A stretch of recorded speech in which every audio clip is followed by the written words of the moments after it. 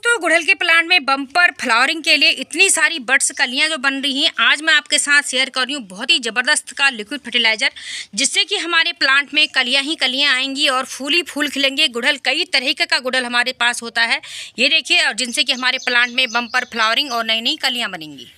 नमस्कार दोस्तों, मैं मंजू और आपका स्वागत है मंजू गार्डनिंग एंड ब्लॉग्स में। देखिए, आज मैं आपको दिखा रही हूँ कि हिबिस्कस में बहुत सारे क्वेश्चन आ रहे हिबिस्कस में फ्लावरिंग नहीं आ रही। दोस्तों, खाद के साथ साथ कुछ हमें केयर भी करनी पड़ती है, कुछ बातों का ध्यान देना पड़ता है। हिबिस्कस प्लांट में फ्लावरिंग आ रही देखिए आजकल बरसात का सीज़न है, बारिश काफ़ी हो रही है। अगर आपके यहाँ बारिश, आपके यहाँ भी काफ़ी हो रही होगी। दोस्तों, बरसात में हमारे प्लांट को बरसात के पानी से नाइट्रोजन काफ़ी मात्रा में मिल जाता है, जिससे कि हमारे प्लांट की ना ग्रोथ बहुत बड़ी हो जाती है। इसलिए इस समय आप लोग जो नाइट्रोजन युक्त फर्टिलाइज़र है, जैसे कि हम ऑर्गेनिक में चाय की पत्ती का यूज़ करते हैं या और चीज़ भी कुछ है। तो नाइट्रोजन वाले फर्टिलाइज़र को कम डाला करिए, क्योंकि हमारे प्लांट की अपने आप ही ग्रोथ अभी बारिश की वजह से हो रही है। दूसरा हमें क्या ध्यान देना है दोस्तों प्लांट के लिए? कि हमारे फ्लावरिंग अच्छे आए, बड़े आए, चाहे फल, फूल, सब्ज़ियाँ हो, अच्छे आए, बड़े आए, फटे नहीं, सड़े नहीं। दोस्तों, बारिश की वजह से हमारे प्लांट का, हमारे पॉटों का पानी जो बहता है, काफ़ी न्यूट्रिशन इससे चले जाता है, जिससे कि हमारे पॉट में जो है नाइट्रोजन की मात्रा तो काफ़ी हो जाती है, हमारे प्लांट ग्रोथ करते हैं, लेकिन हमारे प्लांट से ना काफ़ी न्यूट्रिशन बहता है और कैल्शियम हमारा प्लांट में बहुत कमी हो जाती है। तो कैल्शियम की वजह से प्लांट की ग्रोथ शाखाएँ जो अच्छी हेल्दी नहीं होती हैं कैल्शियम की कमी होने की वजह से फूल जो, है ना, फूल नहीं खिलते हैं फल नहीं खिलते हैं या फल बड़े नहीं होते हैं या फल, अगर फल वाला प्लांट तो फल सड़ने लग जाते हैं या फटने लग जाते हैं। तो इस समय आप अपने प्लांट में कैल्शियम भी ज़रूर डालेगा कैल्शियम के ऑर्गेनिक स्रोत मैंने काफ़ी बता रखे कुछ दिन पहले ही मैंने वीडियो शेयर करी है चूना, जो हम चूना लगाते हैं, चूने को भुजा हुआ चूना, किस तरीके से हम अपने प्लांट में अप्लाई कर सकते हैं और भी चूने की कई चीज़ें हैं, आप वीडियो देखिएगा। तो वो एक कैल्शियम आप अपने प्लांट में इस वक्त ज़रूर डालें। सवाल ये उठता है कि कुछ लोग बोल रहे हैं कि आजकल बारिश हो रही, कुछ कह रहे हैं फर्टिलाइज़र डालिए, कुछ कह रहे हैं नहीं डालिए। दोस्तों, ये नहीं है। ये हमारे फ्लावरिंग प्लांट जो है, जो अभी हमें फ्लावर दे रहे हैं तो इनको हमें न्यूट्रिशन देना होगा। बारिश के पानी से न्यूट्रिशन भय आता लेकिन जब बारिश होती है, उस समय नहीं देना है। और जैसे अभी बारिश रुकी है, बरसात हो रही है, आजकल एक बार बारिश होती है, एक दिन, दो दिन बारिश नहीं होती तो इतनी गर्मी हो रही इतनी ह्यूमिडिटी है, गर्मी है। और हमें पानी तो देना पड़ता है तो पानी जिसमें आप देते हो, पानी की जगह आप, अगर आप लिक्विड फर्टिलाइज़र बनाए हैं, आप उनको वो भी दे सकते हो। लेकिन ये ध्यान देना कि बारिश भी हो रही है और आप फर्टिलाइज़र भी डाल दे रहे हो तो वो तो बह जाएगा, वो बेकार हो जाएगा, इसलिए कहते हैं कि बरसात में फर्टिलाइज़र नहीं डालना चाहिए। बाकी कोशिश ये करना है कि हमें ड्राई खाद, जैसे कि बर्मी कंपोस्ट है, गोबर की खाद है, ये चीज़ें अपने प्लांट में दे। देना ही पड़ेगा फ्लावरिंग प्लांट है, नहीं तो फ्लावर अच्छे नहीं होंगे प्लांट जो है सूखने लगेगा या फ्लावर नहीं होंगे। तीसरी चीज़ जो है प्लांट गुड़ल में अक्सर गुड़ल की पत्तियाँ पीली हो रही हैं, गिर रही हैं। तो दोस्तों, वही है हमारे प्लांट में आयरन की कमी हो जाती है। आयरन की कमी होती है मैग्नीशियम की कमी होती है। मैग्नीशियम आयरन की कमी की वजह से प्लांट की जो हमारी जो है ना, गुड़हल की पत्तियाँ पीली होने लग जाती हैं, पीली होकर सूख के गिरती हैं। तो इसलिए हमें आयरन वाल युक्त फर्टिलाइज़र और मैग्नीशियम जिसमें हो, वो डालना है। उसके लिए भी मैं आज फर्टिलाइज़र आपको बता रही जो सब चीज़ है उसमें। और दो दिन पहले वीडियो मैंने डाल रखी थी लेमन की। मोगरा में डाल के बता रखी है कि आयरन हम किस तरीके से ले सकते हैं। आयरन लोहे की कील से ही मैंने आयरन का लिक्विड बना रखा था तो वो आप जाके देखिएगा। तो अब बात करते हैं इसकी। दोस्तों, देखिए, मैंने इसकी गुड़ाई में कर चुकी हूँ। अपने प्लांट की गुड़ाई करते रहना है, जिससे कि एरेशन हमारे रूट में जो है ना, यहाँ पौधों की जड़ों में। हवा जाए, ऑक्सीजन जाए और मिट्टी भी ढीली हो, अगर ध्यान देना है गुड़हल के प्लांट में, पॉट में, इस समय किसी में भी जो है कि पॉट में ड्रेनेज होल सही हो, न, सही हो, आपके पॉट में जो है ना पानी नहीं रुकना चाहिए, वो किसी भी प्लांट के लिए। अगर इतनी बारिश हो रही, किसी में आपके पॉट में पानी लगातार रुक रहा है तो आपकी जो हमारी रूट्स जड़ ना मिट्टी में अंदर गलने लग जाती है, फंगस लग जाता है, हमारी रूट खराब हो जाती है। तो ये ध्यान देना है, पॉट बिल्कुल चेक करते रहना है, बारिश में अपने गार्डन में घूमते रहना है, अपने पॉटों को देखते रहना है कि कहीं उसमें पानी तो नहीं रुक रहा। तो और इस तरीके से गुड़ाई भी करते रहना है। तो मैंने इसमें गुड़ाई आगे कर ली है, पर प्लांट की मैं काफ़ी गुड़ाई, में गुड़ाई उड़ाई कर ली है, धूप आई हुई थी, जिससे कि थोड़ा सी मिट्टी हमारी सोलराइज भी हो जाए तो पौधों को अच्छा इससे न्यूट्रिशन जब हम डालेंगे तो अच्छा होता है। तो इसके लिए मैं आज क्या डालने वाली हूँ, मैं इसमें ला रखी हूँ बर्मी कंपोस्ट ला रखी हूँ ये कंपोस्ट जो मैं डालने वाली हूँ। बर्मी कंपोस्ट डाल रही हूँ, आपके पास सड़ी हुई गोबर की खाद है तो आप वो भी डाल दीजिएगा, मैं बर्मी कंपोस्ट लेके आ रखी हूँ। और साथ ही मैं उसके साथ लेके आई हूँ, ये वुड ऐसे। दोस्तों, ये वुड ऐसे लकड़ी की राख है, ये बहुत काम की चीज़ है। इसमें पोटेशियम भरपूर मात्रा में होता है आयरन भी होता है सल्फ़र फास्फोरस भी होता है, जो कि हमारे प्लांट में फूल लाने में सहायक होता है। और इससे ना कीड़े मकोड़े भी नहीं लगते हैं मिट्टी में भी नहीं लगते हैं। और प्लांट के ऊपर से भी अगर आप पानी का स्प्रे करने के बाद हम इसको इस तरीके से डालते हैं तो छेदक होते हैं, पत्तियाँ खाते हैं, फल खाते हैं, कीड़े मकोड़े भी वुड ऐसे दूर जाते हैं। तो ये वुड ऐस है तो पहले मैं एक एक चम्मच अपने प्लांट में जो है वुड ऐस डाल दूँगी, ठीक है? ये वुडस का मैं एक एक चम्मच सारे प्लांट में, तीन अभी प्लांट में ला रखी हूँ, आपके साथ दिखा रही हूँ, बाकी मैं और प्लांट में डालते रहूँगी। ये देखिए, इस तरीके से मैं अपने प्लांट में गुडेस डाल दूँगी। और दोस्तों, एक चीज़ मैं आपको और बताना चाहती हूँ आप लोगों को कि अभी जो है ना, ये सिंगल पेटल के गुड़ल होते हैं, ये अभी यही फ्लावरिंग करते हैं।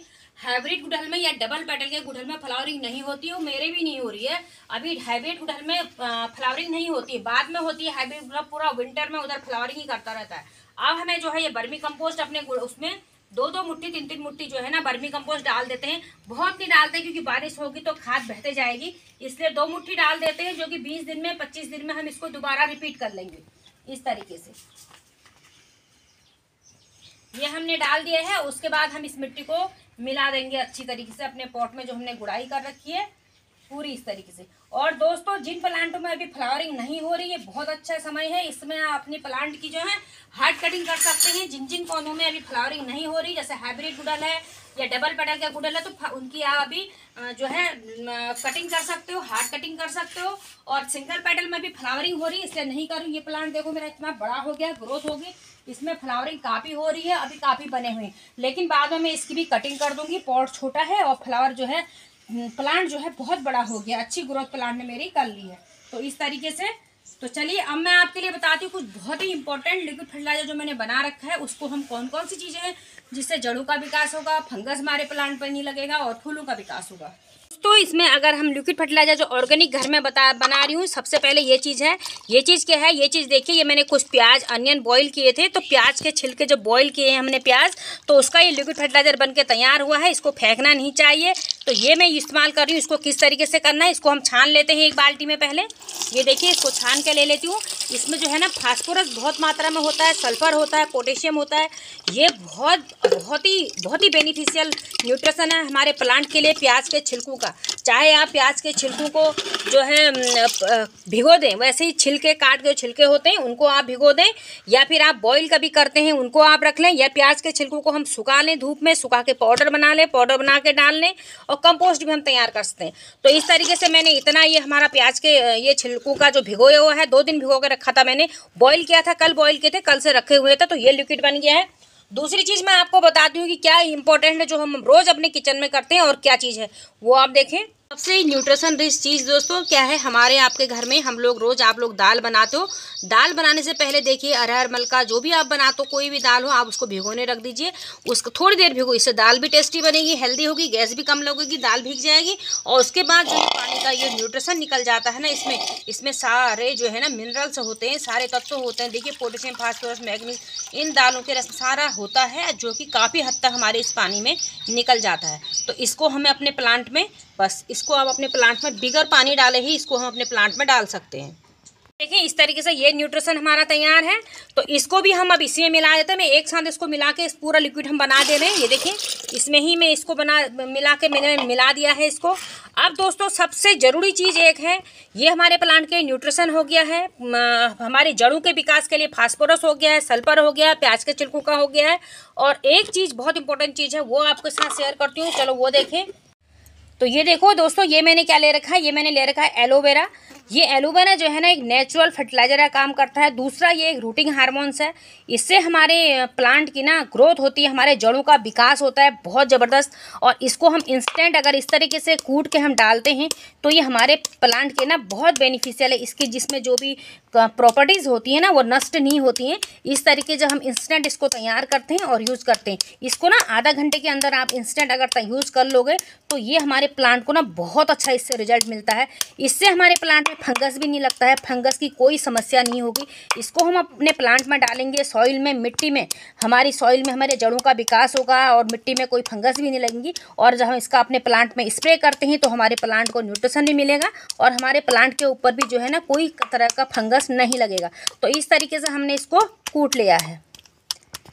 तो बस मैंने इसको कूट लिया है और इसको ना मैं इसमें निकाल लेती हूँ डोंगे में। इस तरीके से। चलिए, अब इसमें हम लिक्विड मिलाएँगे। तो ये देखें, अब मैं इसमें ज़रा पानी मिला लेती हूँ। इस तरह से उसे पानी मिला के थोड़ा सा इसको घोल लेंगे।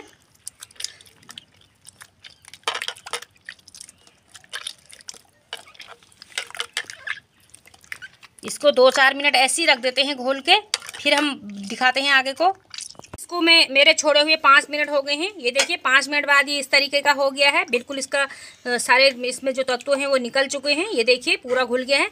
अब हम इसको छान लेते हैं। तो अब मैं इसी में मिला रही हूँ। इसमें प्याज के छिलकों का रस मिलाया है और दाल के पानी मिला रखा है और उसी में हम एलोवेरा को मिला देंगे। ये देखिए।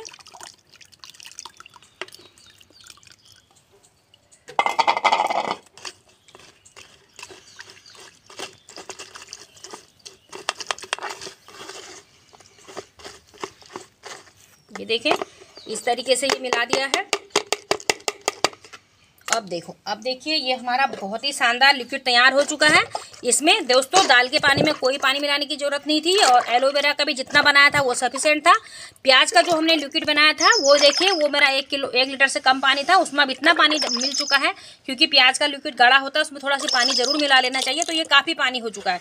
अब हम इसका स्प्रे भी करेंगे तो मैं पहले स्प्रे करने के लिए इसको निकाल लेती हूँ प्लांट में। तो ये देखिए, क्योंकि स्प्रे हम छान के करेंगे तो एक ये देखिए, मैं इतना निकाल ले रही हूँ। इसको मैं छान के निकाल लेती हूँ अपने जार में। ताकि हम स्प्रे करेंगे, हमारी स्प्रे बोतल में ना कोई चीज़ ना लगे। तो ये स्प्रे करेंगे इससे। इससे हमारे प्लांट को अच्छा न्यूट्रिशन मिलेगा और ये देखें। ये, इसका हम स्प्रे करेंगे अभी। और चलिए, पहले हम इसको अपने प्लांट पर अप्लाई करके मैं इसको दिखाती हूँ आपको। ये देखिए अब मैं इसमें पानी, इसे लिक्विड डाल देती हूँ न्यूट्रिशन डाल देती हूँ। थोड़ा थोड़ा जितना हमें रिक्वायरमेंट है प्लांट के हिसाब से, जितना बड़ा हमारा प्लांट है, ये देखिए थोड़ा सी इधर को डाल देंगे। थोड़ा सी इधर को डाल देंगे। ये देखें, इस तरीके से हम पूरा इसको डाल देंगे। ये देखिए तो दोस्तों, ये हमने एक स्प्रे बोतल ले लिया है और इसमें हम इस लिक्विड को डाल देंगे, ये देखें। और अब हम इससे अपने प्लांट में स्प्रे करेंगे। इस तरीके से अपने हम पूरे प्लांट को जो है ना स्प्रे कर देंगे। ये देखें। टहनियों में भी, कहीं जो है फबूद भी नहीं मिलेगी, लगेगी, और हमारे प्लांट को ना न्यूट्रिशन भी अच्छा मिल जाएगा। इस तरीके से तो ये सारे प्लांट में मैं कर दूँगी। यहाँ देखिए, इधर भी एक, यहाँ भी दिखाएँ, यहाँ भी एक देखिए, कितना सुंदर मेरा रानी कलर का मिनेचर जो है गुड़हल खिला हुआ है। काफ़ी फ्लावरिंग इनमें होती रहती है। ये देखिए, रोज़ इतनी सारी कलियों से भरा पड़ा है, ये देखें।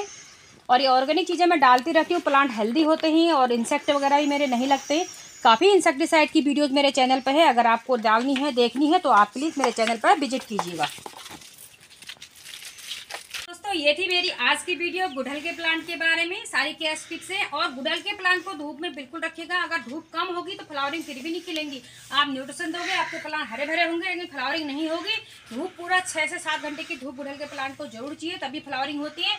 तो वीडियो कैसी लगी कमेंट करना, अच्छी लगी तो कमेंट करना और मुझे चैनल वीडियो को लाइक करना।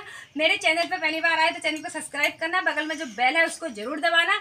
मिलती हूँ आगे एक नई वीडियो में और आपको कुछ ही पूछोगे कमेंट करके पूछिएगा। जल्दी नहीं दे पाऊँगी आंसर दूसरे दिन दे सकती हूँ। तो मिलूँगी तब तक के लिए। Bye bye happy garden take care